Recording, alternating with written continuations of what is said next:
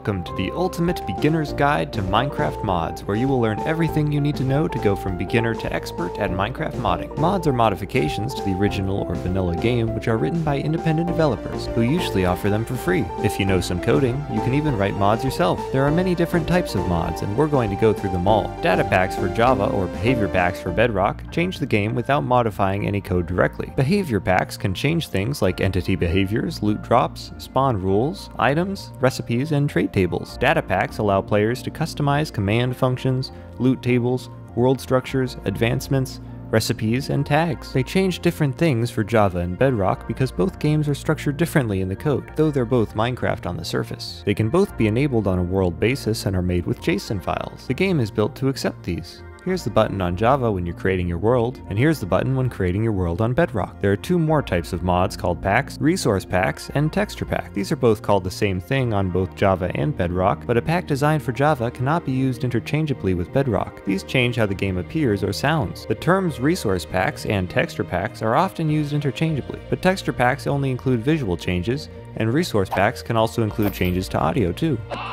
And now for the mods that change the game the most. Scripts for Bedrock or mods for Java. Scripts for Bedrock are custom code written in JavaScript not JSON files, so they can change more about how the game works than behavior packs or resource packs. I've so far used the word mods as an overarching term for anything that changes the game, but there is also a type of game changer for Java that is called mods specifically because they actually modify the code of the game itself, allowing near infinite customizability. To install Java mods, you will need your choice of the two base foundation mods which allow other mods to alter the game, Forge and Fabric. Mods have to be directly compatible or written for one of these base mods. There is also actually a third base mod, a newcomer, Quilt, which is compatible with Fabric mods, but also can have mods made directly for it only. I want to mention a specific type of Java mod, which is an optimization mod. Mods like Sodium, Lithium, and Starlight on Fabric or Optifine on Forge help the game run better without necessarily changing too much about how it works. They make the game's code more efficient, which results in better performance and more frames per second. Now let's talk about shaders. Shaders change how the game looks. For Bedrock, you can or used to be able to trickly code these into resource packs, but I've not found a single one that works with the latest version of Minecraft Bedrock Edition. Though it's not a mod and is built in, I should mention here Minecraft RTX, which adds ray tracing, realistic light simulation, to Minecraft Bedrock Edition. It's in the options on some devices, and to work, it needs a custom resource pack like Kelly's RTX, which defines how light bounces off different surfaces. For Java Edition, resource packs can also kind of be used as hacks to make shaders, see Vanilla Pudding Tart, but there is also a very easy way to allow shaders in Minecraft Java, and that's with Optifine on Forge or Iris on Fabric. There are ports for both of these to the alternative base mods, but these ports are often less compatible with other mods. I already mentioned Optifine as an optimization mod, but it also works as a kind of base foundation mod to allow shaders.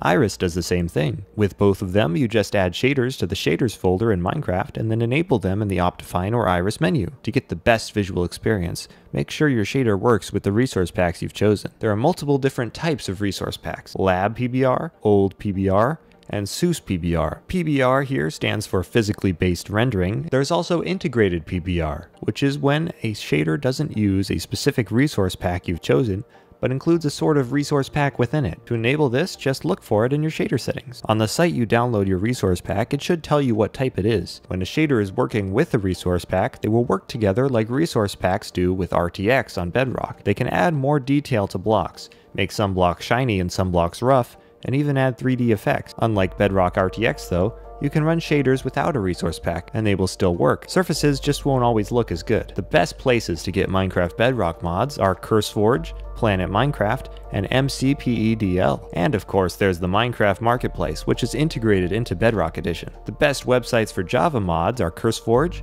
Modrinth, and Planet Minecraft. I highly recommend never downloading mods from other websites without researching and making sure they're safe. There's a lot of malware out there, as well as people copying other people's mods and uploading them without permission to steal their ad revenue. Here's how to install mods. From Minecraft Bedrock Edition mods that you download, all you have to do is double click and open them, Minecraft will automatically open and it will import the mod. In Minecraft Bedrock Edition, resource packs can be linked directly to a world by going to resource packs when creating a world and then activating one, just like behavior packs.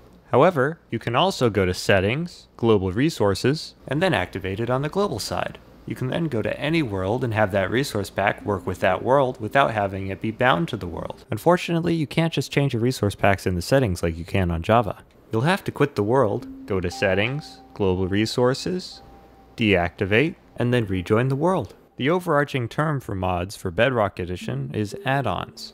Add-ons often involve multiple combinations of behavior packs and resource packs all bundled together. They can also include a custom world. Add-ons called mashup packs often also combine resource packs with custom worlds. You'll often just see a button like create this world. For Java Edition, you just have to open the Minecraft folder and then drag mods to the mod folder, shaders to the shader folder, and resource packs to the resource pack folder. Data packs can be dragged into the Minecraft window when creating a world, or into the folder that opens when you press open folder. For a specific world, you can also go into your saves folder and into the world folder, and then there's a data pack folder that you can add data packs to if you've already created a world. For resource packs, you also need to make sure that you enable them in the game by moving them from the left of the resource pack screen to the right. I'll show you the easiest way to get to the Minecraft folder depending on the launcher you use, in the launcher section. An important thing to keep in mind is making sure that you get the right mod for the version of Minecraft you are playing. Something else to watch out for when using multiple mods is compatibility. Since mods are written by different people, they often don't work well together, which can prevent the game from launching or even cause crashes. If you have many mods installed, you might need to remove some until you find the one that's causing the crash. Looking at the console, logs, or crash reports can help,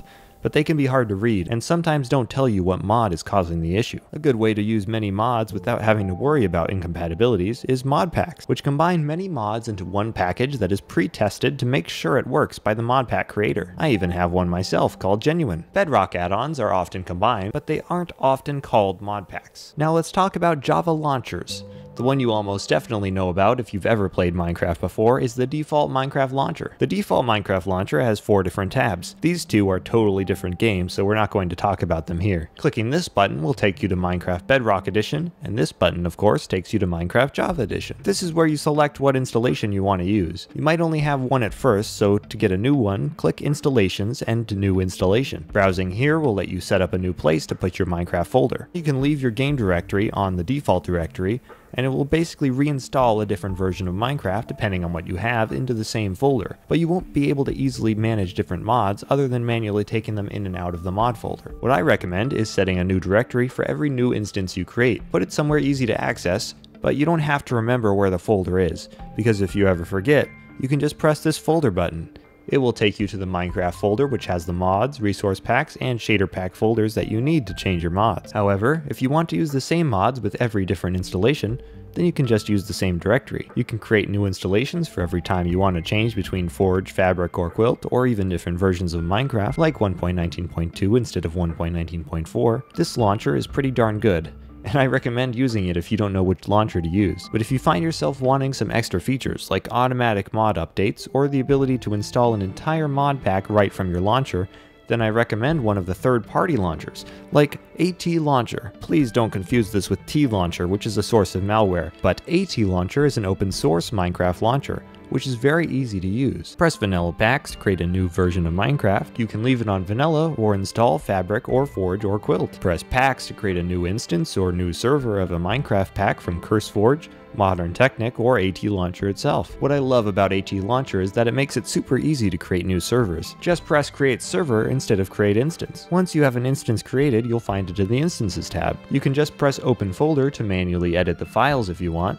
or you can press Edit Mods. Select your mods, and then press check for updates to check every single one for updates. By pressing add mods, you can also browse for mods on CurseForge and Modrinth right from the launcher. Another popular launcher is CurseForge. Make sure you have the Minecraft tab selected because CurseForge also handles other games. Then you can press browse mod packs to look for mod packs, or you can press create custom profile to create a custom instance in Forge, Fabric, or Vanilla. Once you have one created, you can click on it and then press these three dots and then open folder to open the folder manually. You can also press this little puzzle puzzle piece icon to look for new mods to add from CurseForge. Another good option is GD Launcher. In GD Launcher, just press this plus button to create a new custom instance. Under Vanilla, press Forge, Fabric, or Vanilla. Left click and press Open Folder to see the Minecraft folders so you can manually change things. Another popular option is the Prism Launcher. Just press Add Instance, then you can get a mod pack from Technic, Modrinth, FTB, CurseForge, or the AT Launcher. Or you can create your own vanilla instance with Forge, Fabric, or Quilt. Left click, press Folder, and then click Minecraft to go to the Minecraft folder.